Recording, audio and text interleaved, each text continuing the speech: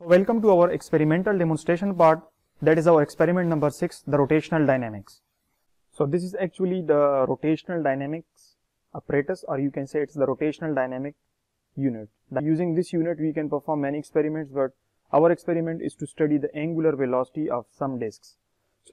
This is the base plate, this is the display screen uh, and it gives the counts per second of the Blake strips uh, as you can see on this aluminium disk or steel disk. So, we, so one is the uh, aluminium disks and two are the steel disks. So as we discussed that we are uh, we always use this setup in two uh, disks.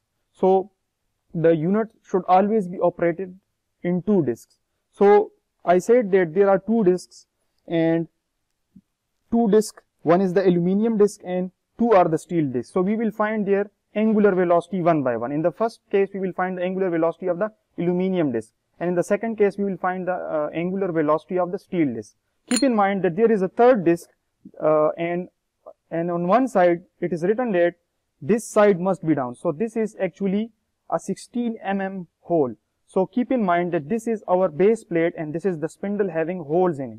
So this this disc should always be at the bottom uh, of the discs. So first we will place the this side down on the spindle. This is the first disc and now if you are studying the angular velocity of the aluminium disc or the steel disc. So first we will study the angular velocity of the aluminium disc. So how to do it? We will then keep the aluminium disc on the top of the spindle. So this unit should always be operated in two discs, keep in mind. So now we know that there is an air tube uh, and the air is provided by the air compressor. The air goes inside this tube and comes out of this spindle as we uh, discussed. So the, this spindle gives the, let me show you. So as you can see that this spindle is having some holes in it. So actually the air comes out of these holes. So on the top of it we place the disc. So the steel disc is always this one, the disc with this mark uh, is always on the bottom keep this disc on the spindle and the second disc is this the aluminium disc with the mark should be on the top. Keep in mind that this mark should be above. So this is our second disc so this is our display screen and it counts actually the number of Blake bars when the when this disc is rotating this display screen counts the number of Blake bars per second. So here it is written that uh, it counts so the so the unit is counts per second. So the unit is counts per second and the display screen will tell you that let's say the counts per second are let's say 240 counts per second 10 counts per second. And keep in mind the value should always be between 100 hertz and 700 hertz. So this is actually the range in which this display screen counts. So the value is reliable between 100 to 700 hertz. And this is actually the switch which we were talking about. So if you, we will always operate this uh, system in the upper mode. So we will flip this switch to the upper mode when this system is operated. Here we have two valves. So for this experiment, one valve should be at the center of the spindle and the other valve as we discussed that it should be at the holes and it should be at the valve pin storage. So keep in mind there are three positions. One, the two, the first two are the valve pin storage and the, the bottom one is the bottom disc valve. So keep in mind when you will place this, uh, this valve pin in the center, what it will do, it will keep the second disc, the bottom one, this disc, on the base plate fixed. Or you can say that this disc will not rotate when this disc is freely rotating above its surface. So this disc, we want this disc to be at rest. So what we will do, we will place the one valve pin at this position, valve pin position. So this means that this disc will be fixed and the top disc will be uh, rotated about the spindle. And this valve pin is for the purpose that the air actually comes out of the spindle. So in order to uniformly distribute that air to these discs, we will place one of the valve pin at the top of the spindle. So this is actually the apparatus uh, for this experiment. Uh, this is the, the rotational dynamics system and this is the display counter it tells us the number of counts per second these are our two disks the disk the system is always operated in two disks the, we will be using this system in the upper mode once one spin valve will be at the center of the spindle and the other spin valve will be at the center of these holes at the valve pin storage position. Keep in mind. So let's proceed with our experiment how to do it. So the first thing you need to know is to turn on the air compressor. Uh, at the other end of this lab you are having an air compressor and that air compressor uh, actually provides the air to four of the these units. So there are four workstations actually in this lab and the air compressor provides the air to all of the four units. So what we will do, we will keep on the air compressor. So the air compressor actually provides the air and the air is provided to this unit through this gas pipe and this is the gas valve. So keep in mind whenever you are operating this unit, you should not be rotating these discs against each other when the air compressor is not turned on or when this valve is in the off mode. Keep in mind. So now this is uh, is in the off mode so if i will rotate the first disc on the second definitely there will be some friction. And that friction will be responsible to reduce the angular velocity when this system is operated. So keep in mind we will turn on this valve. So you will not turn this valve directly so if you will turn it on directly what will happen the pressure is too high that it will either break these tubes or it will damage the tubes that goes inside this system. So you have to take care of these things before performing this experiment. So the valve pin should be such that this is very important. Keep in mind that the valve you should turn on the valve very gently and very slowly. So keep it fixed. Let's say at this position the air is enough to give the upper disc enough velocity the give the upper disc enough force to rotate freely. So if this at this position the air pressure is such that it can rotate this disc freely when you rotate it gently by your finger now then you can use this value. So in your manual it is written that the pressure should be 9 pounds square per inch. So if you do not have the so if it's not working for the 9 psi you can do it for any of the value, but keep in mind the value should be fixed and moderate. When you keep it at some position, you will not be disturbing it for the rest of the experiment. Now keep in mind, when you will start this experiment, first you will turn on the air valve. So keep it at fixed and moderate, keep the pressure fixed and moderate. So turn the air valve such that, so I think this is uh, enough to rotate the first disc freely. So if I rotate it gently with my finger, you can see that it's, it's freely rotating above the top disk. So this is actually the, the pressure should be fixed and moderate throughout the experiment. Now the second thing is, if I remove this valve and keep it at the second position, then you will notice that the second disk will always start rotating. So it's free to rotate. But if I will remove the this pin, you see that this stop this disk stops rotating. So I will keep this disk in the valve position and what will happen this disk will not rotate when I will be measuring the angular velocity of the top disk. So this is actually the purpose of the spin and this is actually the purpose of the spin valve. So you will have to keep this so the air is the air comes out and we don't want this the air should be uniformly distributed so that this disk rotate freely on the top of the bottom disk. So I will keep one of the valve pin in the spindle. This, so this before performing this experiment this is the first step turn on the air well. Now the second thing is to, so the second thing is you will be using a stopwatch. So either you can use a stopwatch provided to you in the lab or or also you can use your phone the stopwatch that comes in your phone so you can use that stopwatch as well but so there are two optical readers as i discussed there are two optical readers so the first optical reader reads the number of black bars of this black disk and the second the second optical reader reads the number of black bars of this second disk. So there are two optical readers. Now if the switch is to is in the upper position. Now if this disk is rotated, it will monitor the first disk, the number of counts of the first disk. So this display screen, so it's showing that 144 counts per second. Now it's showing that 143 counts per second. So keep in mind it tells us the number of counts, the number of black bars per second of the first disk because the switch is in the upper mode. So this is actually the function of this switch. and this is actually the it will tell it will gives us gives us the value of ri and rf now how to note your readings first you will be using your stopwatch so for the initial reading you will first rotate the top disk gently by your finger like this now this display screen will tell you the first value 117 and keep in mind let me repeat the value should be between 100 counts per second to 700 counts per second so rotate it so that it gives you a value of it uh, between 100 and 700 hertz. So let me rotate it gently by, with my finger. So the first value it gives is 231 and the second is 229. So we will note that value. The first RI value is 229 counts per second. So the value of RI will be 229. Let me note this value. RI is our 229 counts per second. The display screen is showing that the RI after 2 seconds when I gently rotate this. So keep in mind you should always be using the second value because the display screen is updated every second, every 2 seconds. So when you will rotate it gently by your finger, note the second value right after the first value. So this will be the accurate value actually.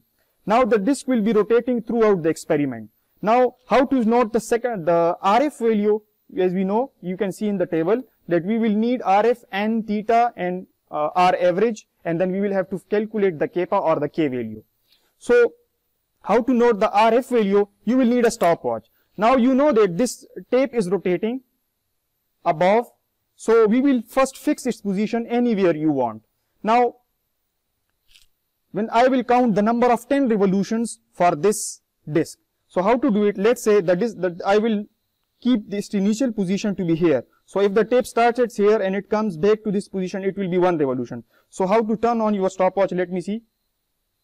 One, two, three, four, five, six, seven, eight, nine, ten. Stop the stopwatch. Now, the display screen will tell you again the value 140. So this will be your RF value. The RF value is to 140 counts per second.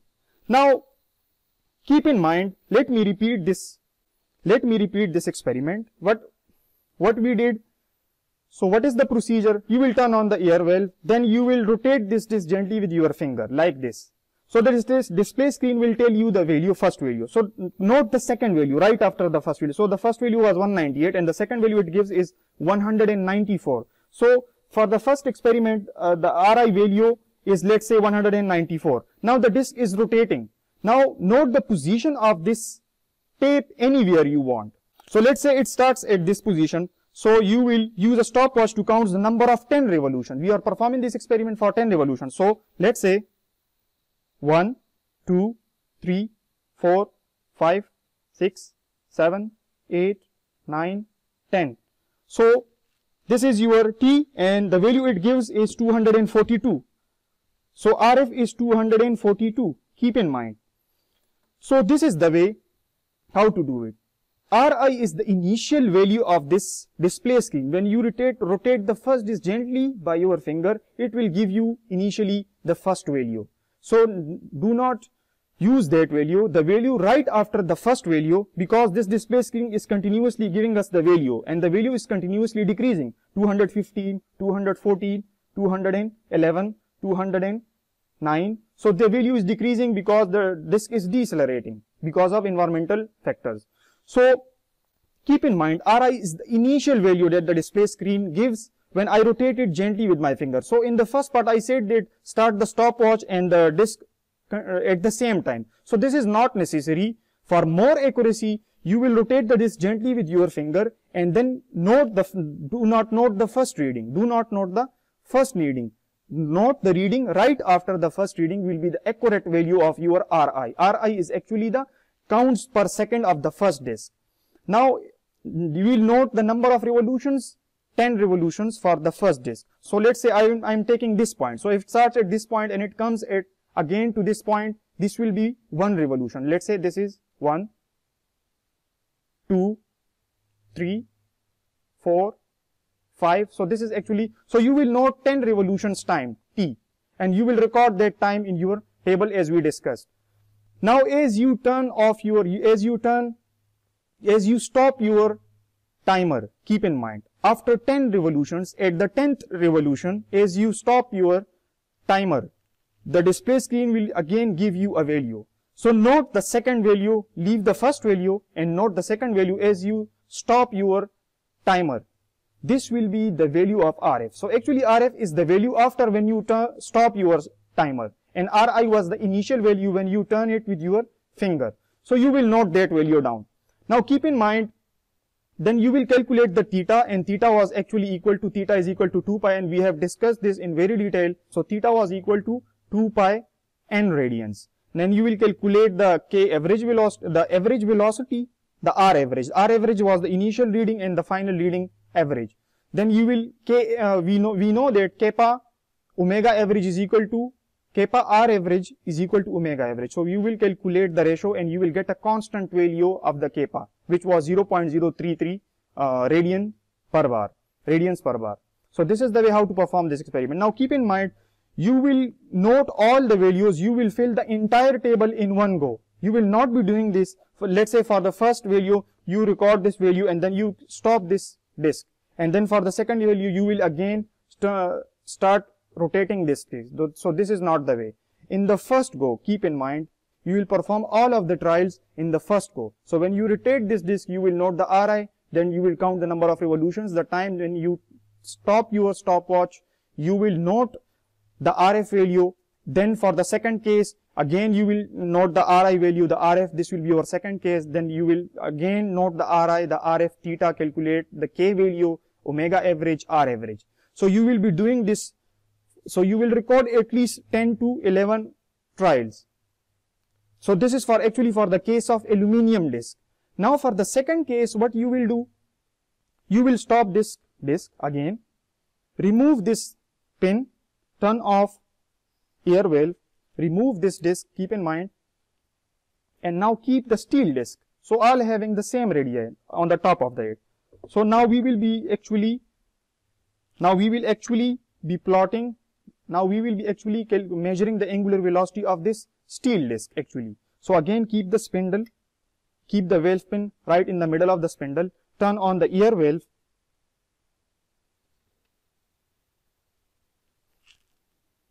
turn on the air valve and rotate the disc slowly again. So again you will have to repeat this the same procedure for the steel disc now and the, the switch will be in always in the upper position. Valve pins will be one will, will be in the valve pin will be in their appropriate positions. One will be in the middle of the spindle and the other one will be in the storage valve position right between the three holes. So now, now at the end you will calculate the percentage difference between the k value. So we discussed this in very detail in our first part that one value of k is calculated via the theoretical value that is equal to 2 pi by n where n is the number of Blake strips on this aluminium or steel disc. So there are actually 200 Blake bars and 200 white bars on this disc. So you will perform this experiment for you perform this experiment for the uh, steel disc as well. Now at the end you will calculate the percentage difference between the uh, theoretical value of k and the average calculated value of k. So we have discussed this. You should go through the first part to understand how to uh, fill the table. So this was actually the experimental demonstration of this setup. Now at the end you will plot a graph between the uh, angular velocity, the ang average angular velocity and the time. So you will plot a graph between the aluminium disk and the steel disk. So definitely you the disk are decelerating with respect to time. So because the counter value is not constant. When I rotate the first disk, the counter values continuously decreases, it means that the disk is decelerating. So for the for both the cases. Now which disk will come to rest more quickly? Which disk will come to rest more quickly? So you will plot a graph and definitely you will get two curves. So it means that the, the first, the disk with the lower mass aluminium disk, it will come more quickly to its rest position because of its lower mass. And the steel disk will come to rest comparatively to the comparatively slower to the first disk that is the aluminium disk this was actually the experiment number 6 rotational dynamics So this was all about our today's experimental part. Thank you so very much for watching the lectures.